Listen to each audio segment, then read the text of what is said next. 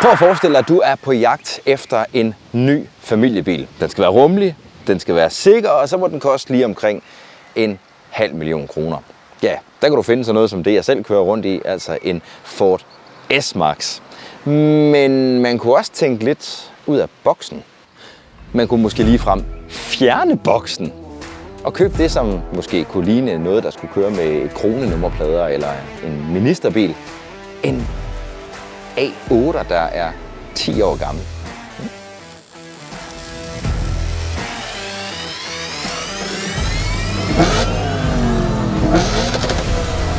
Det her er en Audi A8. Den hedder en model D4, hvilket vil betyde, at det er den tredje generation. Jeg ved ikke, hvem der har fundet på de her navngivninger her, for det giver absolut som i ingen mening. Men D4'en, det er altså den tredje generation. Den har også et øh, type nummer, og den hedder en type 4H. Audi A8-serien, det var en bil, som startede helt tilbage i midten af 90'erne. 1994, der afløste den det, der hed en Audi V8, en yderst sjælden bil, man nærmest aldrig nogensinde øh, har, har set. Og så kom ellers de her generationer. Lige nu der er vi i gang med den fjerde generation, altså en såkaldt D5, som kom i 2017. Men den her, den kom altså lige omkring slutningen af 2010, bliver faceliftet i 2014, og den konkrete bil, vi har med at gøre i dag, den er altså fra 2011. Måske kender du bilen fra Hollywood. Hvis du har set Jason Statham som The Transporter, så har han kørt Audi A8 af flere omgange. Hvis vi lige skal komme med nogle hurtige nørdefacts, så var Audi A8'eren også den første bil til at komme med et komplet aluminiumchassis, og det gør jo noget godt for køreegenskaberne, men også for brændstoføkonomien. Det er simpelthen den letteste luksusslæde, du kan komme i nærheden af. Og så kan du jo få den i en 15 cm længere udgave, og det vil nok som oftest være den, du vil se øh, personer som Mette Frederiksen og så videre køre i. Men det, der sker nu, det er jo, at de her biler, de falder fuldstændig vanvittigt i værdi. Og det kommer vi altså til at tale om lidt mere lidt senere i videoen. Og når ja, så er det en af de få biler, vi har haft her på kanalen, der rent faktisk kan fås i en pansret udgave også.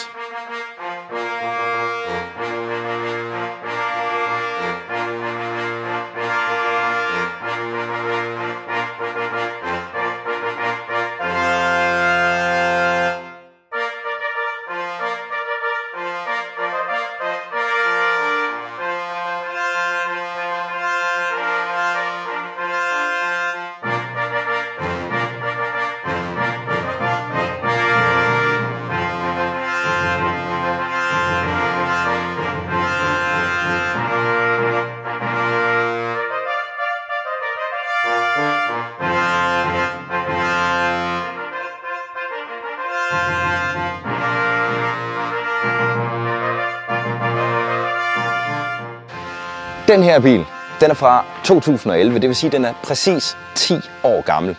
Da den var ny med det her udstyr, der kostede den lige tæt på 2,5 millioner kroner. I dag, der kan du købe den til 20% af den pris.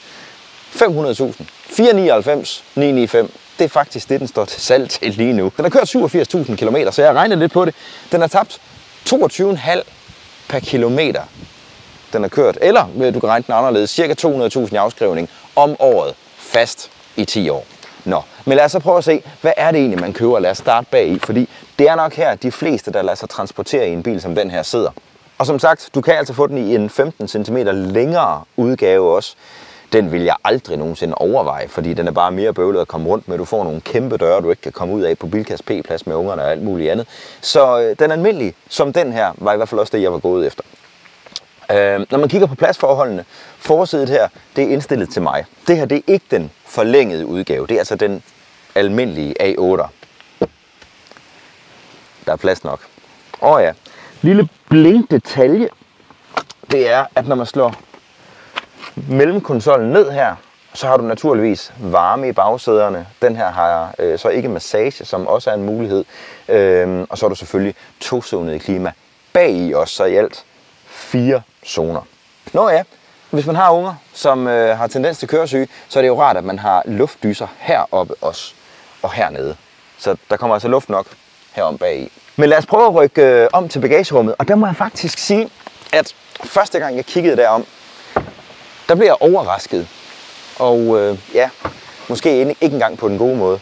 Fordi at man forestiller sig, at en bil så stor som den her, den må have et gigantisk bagagerum. Bevares. Det er stort. Du kan sagtens smide en Odder Classic barnevogn herom. Men det er ikke så kæmpe overdådigt stort, som jeg havde regnet med.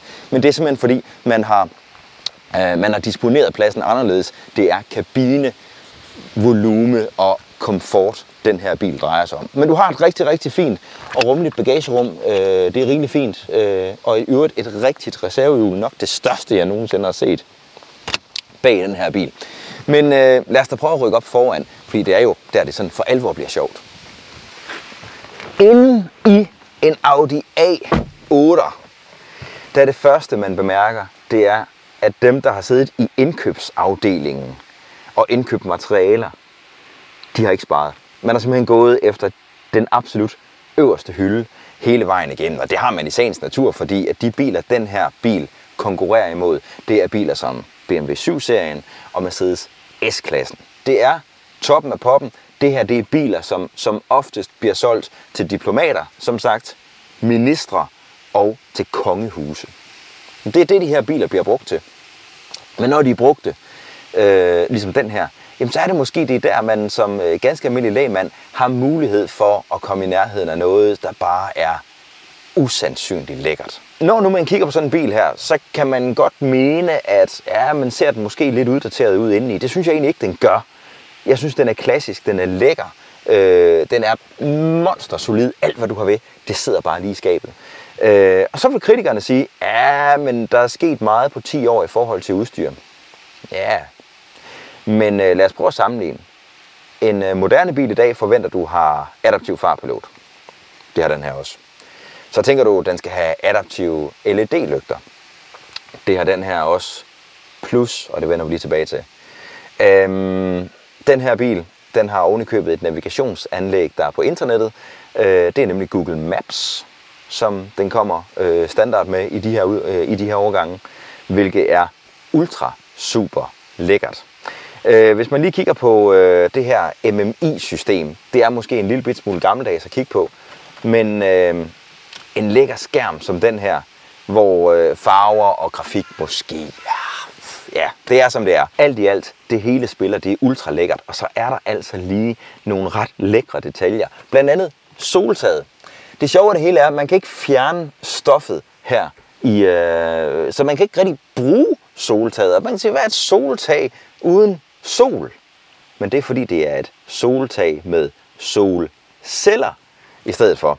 Der sidder simpelthen et, et solfangeranlæg i soltaget her, og øh, det fungerer på den måde, at øh, hvis man holder, og man lige skal ind i brusen eller et eller andet, jamen så kan du lige øh, trykke på en knap, og så kører den stadigvæk blæserne, men ikke på bilens batterier. Nej, den trækker det simpelthen fra solen, fordi at der er jo kun behov for de blæser, når det er varmt. Det er ret cool. Øh, en A8 kan fås med et øh, sikkerhedsudstyr, som detekterer, altså den fornemmer, hvis du er ved at blive påkørt bagfra, jamen så gør den hele bilen klar til det. Den sørger for, at ruderne bliver lukket, soltaget lukket, øh, sæderne bliver kørt frem. Hvordan den kan nå det på så kort tid, det har jeg ikke regnet ud, men det er en ufattelig sikker bil. Den har night vision infrarøde kameraer, der scanner for øh, fodgængere osv., når man ligger og kører, øh, så man ikke kører ind i noget om natten. Og i øvrigt, så er lygterne, ESP'en, gearkassen, den adaptive fartpilot, alt sammen styret af navigationsanlægget i bilen. Og det vil sige, at hvis den ved, at nu kommer du ud et sted, hvor der kan være ekstra mørkt, jamen så kompenserer den for det i forlygterne. Øh, gearkassen kender simpelthen svingene inden du kommer hen til svingene. Øh, øh, øh anti-udskridningssystemet har styr på det også. Øh, den adaptive fartpilot kender også til vejens forløb. Altså, det er jo fuldstændig vanvittigt. Det kan du ikke engang få i en veludstyret almindelig bil i dag. Du skal simpelthen op i de her overklasse luksusbiler, før det kan lykkes. Så øh, det der med, at den skulle være bagud på point, bare fordi den er 10 år gammel, ja, lige bortset fra, at du ikke har Apple CarPlay, så tror jeg ikke, jeg kommer til at savne noget som helst i den her bil. Lad os prøve at rykke ud foran, hvor der ligger noget af et monster. Se, øh, jeg nævnte jo for lidt siden de her forlygter. De ser jo en lille smule spøjse ud, men der sidder 66 LED-dioder i hver forlygte, og det er jo det her ganske almindelige Matrix LED-system, hvor at lygterne simpelthen kan styre, hvor lyset skal kastes hen. Og, og dybest set det, der foregår, det er, at øh, du får lys de steder, hvor der er mørkt, og så sørger den for ikke at blænde for eksempel modkørende. Bilen ved også, om det går op eller ned ad bakke, øh, og så lægger den simpelthen en skygge hen over de modkørende. Det er ikke i sig selv vanvittig øh, ophidsende teknologi mere. Jeg har det også i min, i, i min egen Ford S-Max. Men øh, det er altså vildt, når bilen er 10 år gammel, og det er så ovenikøbet ligesom en ekstra ting, hvilket du ikke finder blandt andet i min S-Max eller så mange andre moderne biler, at det altså også er styret af, af navigationsanlægget. Under hjelmen, der finder man også lidt af et kraftværk. 4,2 liters V8 TDI motor, altså en dieselmotor. Og nu skal vi ikke øh, nørde alt for meget, men en af de ting, som jeg sådan lige øh, øh, gerne vil fortælle lidt om, det er, at når man ser ordet TDI, og man ser det på en 10 år gammel bil, så er der folk, der begynder at tænke, jamen er det så en moderne TDI, eller er det en ældre TDI? Og hvorfor nævner jeg det? Jo, det gør jeg, fordi at selve TDI-begrebet er jo egentlig noget, som VV selv begyndte at, at arbejde med tilbage i 90'erne.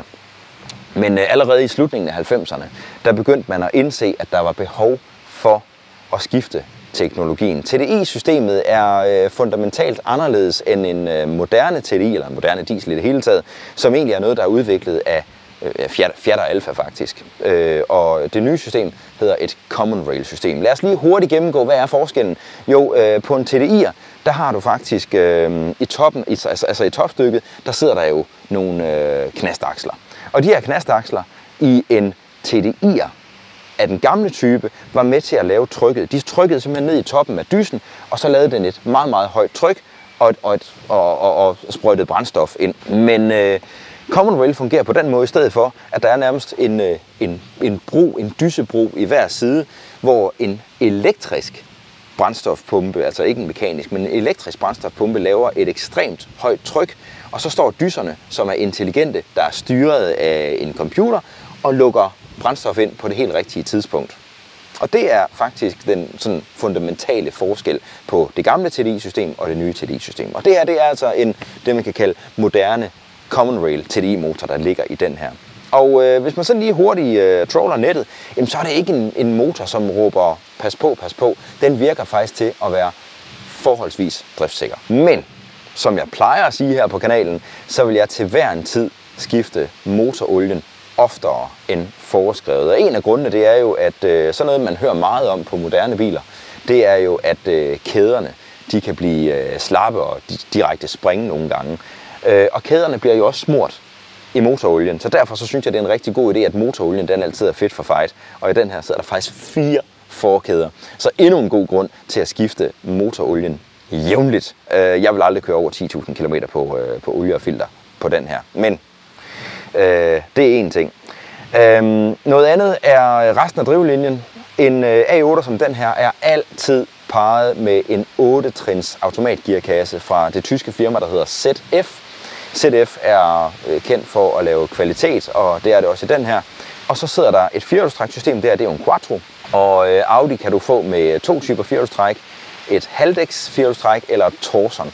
Torson er det bedste, det dyreste, det mest intelligente, og det er altså også det, der sidder på den her. Det er øverste hylde, det hele. Men øh, nu tænker jeg, at vi skal ud og køre noget Audi A8 ministerbil. Mm.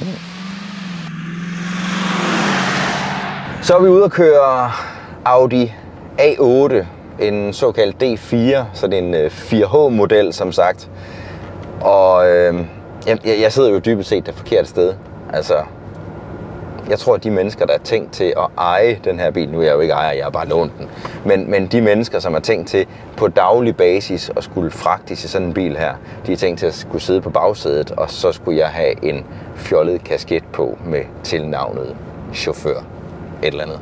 Whatever. Uh, det første, man lægger mærke til, når man kører en bil som den her, det er støjniveauet. Det er helt ekstremt lavt, og det skal vi selvfølgelig have målt uh, lidt senere, både på motorvejen og på landevejen. En af de grunde til, at den her bil den er ekstremt tyst indeni, det er selvfølgelig, at den er støjdæmpet alle de rigtige steder, men øh, sideruderne, det er også dobbelt så øh, det er slet, slet ikke dumt. Den styrer jo også rigtig godt, og det er jo en af de ting, man får for at have firehjulstrækket. Jeg er jo, altså kender du øh, mig og min kanal, jamen så er jeg jo dybest set, altså for mig, der ville det faktisk være et plus, at den ikke havde firehjulstræk. Mest af alt, fordi firehjulstrækket gør bilen tungere, øh, men ikke alene tungere, det gør også bilen, øh, hvad hedder det, øh, det gør også bilen mere kompleks, og dermed med mulighed for, eller risiko for, at flere ting kan gå i stykker. Øh, og det er netop sådan en ting, man er nødt til at tænke ind i at eje en bil som den her. Det er de totale omkostninger ved ejerskabet. Øh, og det vil jeg godt lige tale en lille smule om, fordi der er ingen tvivl, det her det er ikke nogen Kia Picanto. Du er ud over fabriksgarantien, øh, og det er en kompleks bil, og alt efter øh, hvilket udstyr man, øh, man får købt øh, i sådan en bil her, jamen øh, så er der jo rigtig, rigtig mange ting, som på sigt kan gå i stykker. Øhm, og det jeg vil gøre, hvis jeg var brændt varm på sådan en bil her, det var at, øh, at, at gå altså øh, et langt stykke, få det fede udstyr, lidt som den her har. Altså, den har en masse super, super fede ting. Noget af det første, jeg vil gøre, det var altså at melde mig ind i nogle øh, Facebook-grupper, hvor at øh, man kan finde ligesindede, som synes, at det her det er lige så interessante biler, fordi de kan for det første hjælpe med øh, øh, måske at fejlsøge, men, men endnu vigtigere, der er et netværk til den her type biler. Det er, altså nu er jeg ikke selv så velbevandret i Audi, men for eksempel inden for BMW og Mercedes, jamen så finder du lynhurtigt i de her forskellige fora, så finder du altså nogen, der kender til værksteder, som specialiserer sig i det her. Og så er timeprisen altså lige pludselig en helt anden, og de her værksteder, de er måske heller ikke så bange for på en ældre bil som den her, og øh, bruge uoriginale reservedele af øh, ordentlig OEM-kvalitet, øh, altså kvalitet, der svarer til det originale, og også måske brugte stumper, når, øh, når det på et eller andet tidspunkt kan være, øh, kan være øh, give god mening. Men øh, nu nærmer vi os så småt tilkørselen på motorvejen. Nu får vi se, der er temmelig meget trafik i dag. Det er lørdag, det er skiftedag. Vi befinder os ved den jyske vestkyst, og der er altså ved at være godt befolket med øh, ferierende øh, turister, både fra ind- og udland. Men øh, det ser faktisk ud til, at hvis vi er lidt heldige, så får vi øh, faktisk mulighed for at lave en tilkørsel. Så det jeg lige gør nu, det er at øh, flytte øh, bilen op fra øh, comfort mode, som vi er i nu. Og så skifter vi lige til Dynamic. Så får vi øh, lidt hissigere gearskift og øh, lidt hissigere speederrespons. Jeg ved ikke, hvor stor en forskel det gør på en bil som den her. Undervognen bliver også strammet lidt op. Differentialerne i øvrigt også. Øh, men vi har så tør vej, så alle de 350 heste fra V8 dieselen, de skal nok komme i asfalten i dag. På alle fire hjul. Vi var simpelthen, øh, vi var simpelthen nødt til at, at prøve en anden afkørsel, fordi at sådan en skiftedag, det er virkelig en dårlig dag at lave øh, YouTube-video på. Vi kunne hverken komme til at køre 130 på motorvejen for trafik, og vi kunne heller ikke øh, komme til at lave en tilkørsel. Så nu prøver vi igen. Øh, vi går i Dynamic, og så laver vi en tilkørsel på motorvejen med 30-130 målingen på den her Racebox. Og vi er klar. Vi siger 3, 2, 1.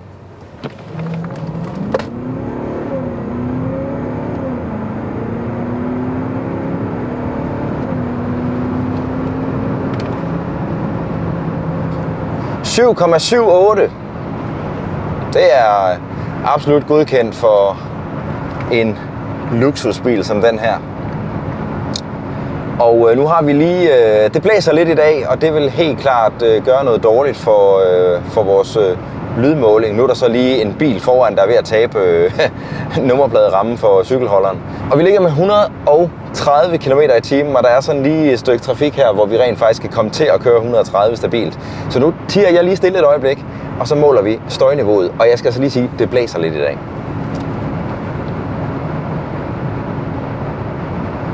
...67 dB. Øhm, det er jo egentlig ikke voldsomt imponerende af en bil af den her kaliber, men det skal altså sige, at vi kører i strid modvind lige nu, og det blæser altså temmelig meget i dag, og, og vi kan høre vinden inde i kabinen, så øh, det, det skal altså retfærdighedsvis siges for den her bil, for jeg er ret sikker på, at den godt kunne lægge sig et øh, par eller måske 3 dB længere ned på en, øh, en mere vindstille dag, som nogle af de andre øh, biler er blevet målt til.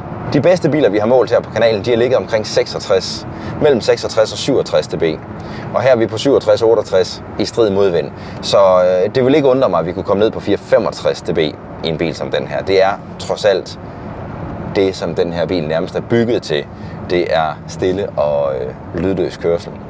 Og når jeg så er der en anden ting, som er ret imponerende ved den her bil. Øhm, den her, den er sådan øh, godt udstyret. Der er, der er en god lang udstyrsliste på, men det kan altså også godt blive vildere. Og, der, og det vil jeg sige med, at den her bil, den har bare Bose-anlæg.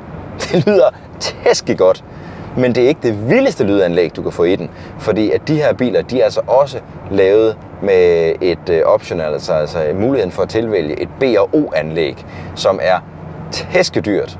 Og det vil jeg jo så formode skulle lyde endnu bedre. Men det her Bose, der sidder i, det er absolut godkendt. Jeg havde lige min telefon koblet på med Bluetooth og sådan noget, og holy smoly, det lyder lækkert, det lyder rent, og det spiller højt, og der er med hammer på den subwoofer der også. Det er super, super top nice.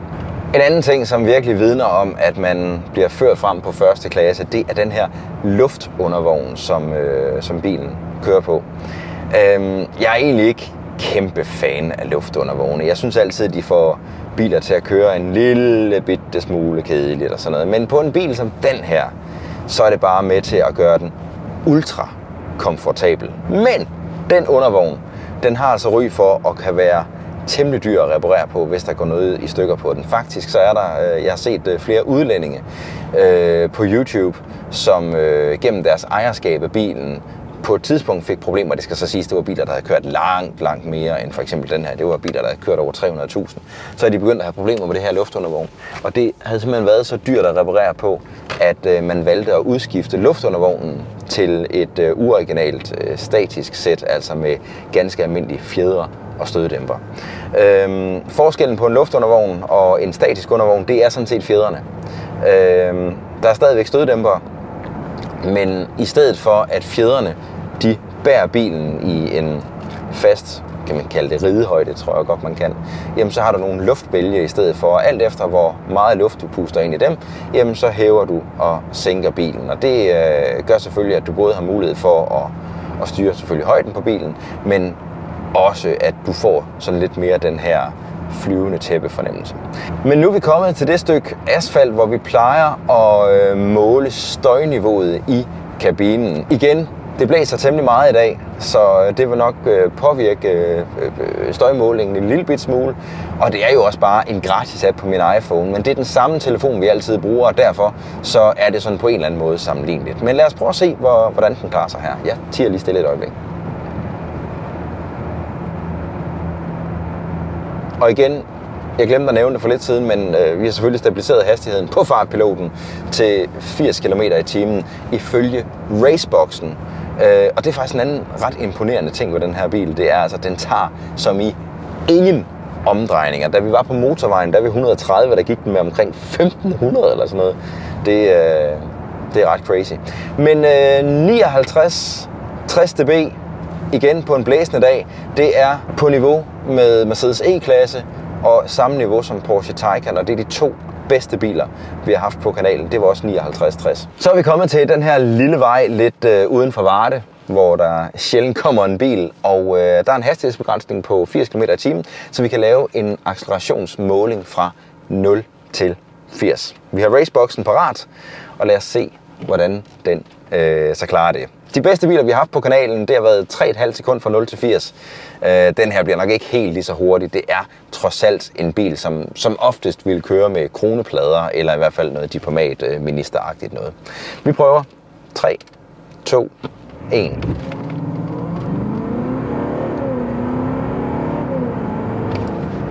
Ja, okay. Lige over 4 sekunder. 4 sekunder og 300 del. Ej, det, det er frisk nok af en øh, A8 diesel. og ja, til alle øh, elbilselskerne derude, ja, elbiler er hurtigere. Det øh, erkender jeg blankt. Men det her kan bare noget andet.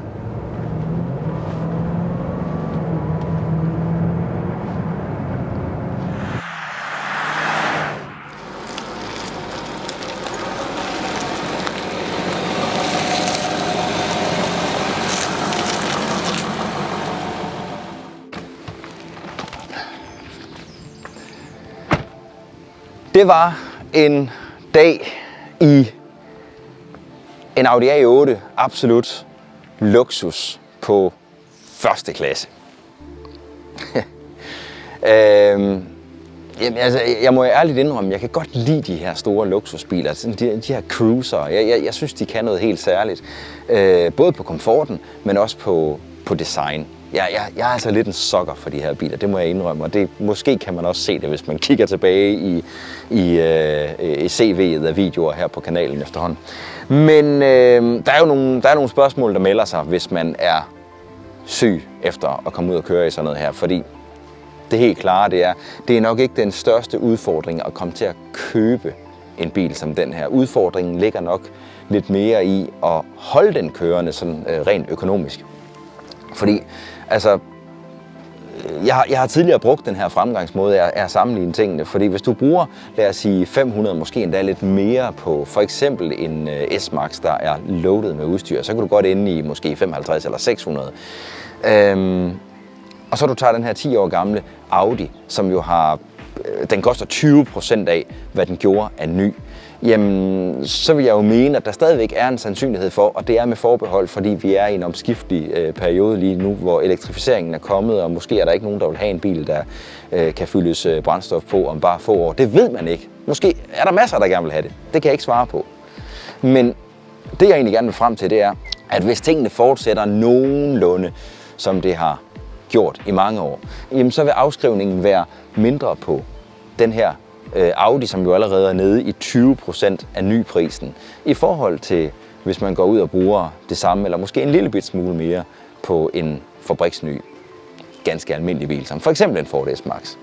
Til gengæld så er der omkostningerne hver gang sådan noget her skal ikke så meget serviceres, men mere når der er noget, der går i stykker, for det vil komme på et tidspunkt. Det er en 10 år gammel bil, den har, den har så kun kørt 87.000 km, og det hjælper selvfølgelig lidt på, på alt det her. Øh, mange af dem, jeg har set på, øh, på nettet, som har haft de rigtig store udskrifter, det er jo været øh, de her biler, der er gået 300.000 km, så kan det altså godt begynde at blive lidt dyrt. Og det koster at fyre med mahoni eller gå i Tivoli, om man vil. Men, som jeg var inde på også i videoen, så er der altså nogle muligheder for at omgås det her lidt. Der er små værksteder rundt omkring, som specialiserer sig i den her type biler. Det er der i hvert fald med BMW og Mercedes, og dem kender jeg helt konkret, så det vil der helt sikkert også være på, øh, når vi snakker Audi. Og, og de værksteder, kan du så nemt som ingenting finde frem til ved at melde dig ind i nogle fora, øh, de rigtige fora på f.eks. Facebook. Det vil være mit absolut største råd. Men der er jo mange forskellige motorer at få i en bil som den her. Personligt så vil jeg nok gå med den her 4,2 V8, fordi den har et ry for at være forholdsvis driftsikker. Den er heller ikke voldsomt for slugen. Den går omkring 13 km literen, ser det ud til ifølge bordcomputeren. 13,5 står den faktisk på. Øhm, men du kan få mange forskellige motorer i de her biler. Du kan både få en lidt mindre diesel, også noget benzin, øh, både med V8, men også nogle V6'er. Men så kan du faktisk også få en W12'er. Øh, og så er der jo S8'eren, som er øh, Audis sportsmodeller, ligesom du kan få en BMW øh, M5, og du kan få en øh, Mercedes AMG osv. Så, videre. så er der jo, når, når du så køber en S8, så er du også oppe i noget lidt mere performanceorienteret, men det kan bare Altså det vil bare blive endnu dyrere. Så jeg tænker, at det, her, det er sådan her, hvor du rammer sweet spottet af niceness og fornuft. I hvert fald, hvis du spørger mig. Og når ja, så er der jo det der, som jeg så ofte står i min egen indkørsel og siger, når jeg har haft en lækker dag i en eller anden lækker bil med en lækker forbrændingsmotor. Altså, det er jo nok ved at være sidste chance. Altså, det, de her typer biler her, de eksisterer ikke så meget mere. Downsizing er kommet, elektrificeringen er kommet, og, og ja, om, om få år, så vil det ikke kunne fås mere. Og, øh, og det er, og for lige at vende lidt tilbage til det der med, at man ikke kan spå om fremtiden. Hvad vil det gøre ved priserne på de her biler? Må de overhovedet køre i de større byer i Danmark i fremtiden? Det ved man ikke. Men jeg er vild med sådan noget her. Jeg vil også være lige så vild med den, hvis det var en 7-serie, eller hvis det var en S-klasse. Jeg synes bare, de her store luksusbiler, de kan noget helt særligt. De er rumlige, de er sikre. Øh, ja, og, og, og økonomisk er de selvfølgelig lidt dyrere at holde kørende, men har nok en lidt lavere afskrivning. Formodentlig. Ja, måske er det slet ikke så dumt. Jeg synes i hvert fald, at den er lækker. Tak fordi du har kigget med. Og øh, finder du den her video øh, informativ, eller bare i det mindste lidt underholdende, så vil det gøre mig enormt glad, hvis du ikke allerede abonnerer på kanalen, at du så måske trykker på øh, abonner-knappen hernede, og også den lille klokke, fordi så får du nemlig en notifikation næste gang, jeg uploader en video. Det er som oftest mandag aften kl. 20, og der kommer en ny video herfra. Det er ikke hver mandag længere, men øh, jeg, jeg lægger mig sådan lidt i scenen i hvert fald. Husk som altid at tale pænt til hinanden i kommentarsporet, og pas på dig selv på YouTube. Ha' det godt.